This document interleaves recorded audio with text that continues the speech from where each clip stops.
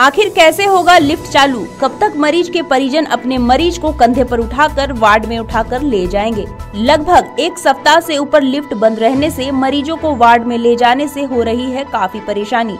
बताया जाता है कि टाइल्स मार्बल लगाने के कारण एक सप्ताह से लिफ्ट को बंद कर दिया गया है, जिसको लेकर मरीजों को रात्रि में काफ़ी परेशानी का सामना करना पड़ रहा है। बार बार मरीज़ के परिजन शिकायत पर शिकायत करते हैं, कोई खास प्रभाव नहीं पड़ता है। यहाँ तक कि पथरी में मरीज़ को वार्ड में ले जाने को लेकर काफ़ी परेशानी का सामना करना पड़ता है। यह लिफ्ट ठीक ठाक रहती है तो मरीजों को आराम से वार्ड में ले जाया जाता है। फिर तुरंत इलाज चालू हो जाता है मगर हॉस्पिटल प्रबंधन की लापरवाही के कारण महीनों से 10 दिन ही लिफ्ट चालू रहता है और बाकी 20 दिन किसी न किसी बहाने बंद देखी जाती है। हजारीबाग से सोनू केसरी की रिपोर्ट। क्या क्या कुछ परेशानी हो रहा है आपको?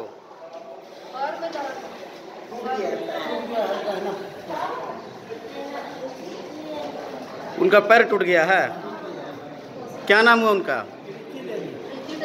रीति देवी नाम है। और पति का नाम? घर? कटकम सांडी। से आए हैं। दो बजे से यहाँ पर खड़ा हैं। और सोच रहे हैं कैसे लेके जाएँ यहाँ पर से है ना?